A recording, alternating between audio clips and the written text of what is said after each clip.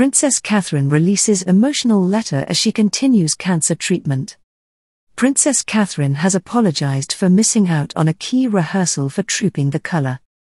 The Princess of Wales has written a letter to the Irish Guards, who are presenting their colours to the King this year, the letter said.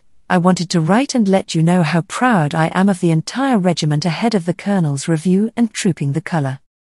I appreciate everyone trooping this year has been practicing for months and dedicating many hours to ensuring their uniforms and drill are immaculate.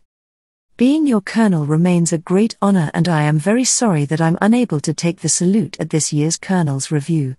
Please pass my apologies to the whole regiment, however, I do hope that I am able to represent you all once again very soon. Insiders have long emphasized that every cancer journey is individual and believe speculation over whether Kate will attend key events such a trooping create unnecessary pressure at a time when she has asked for space and privacy. It means the Princess of Wales will miss what would have been her first Colonel's review, which had been due to take place today.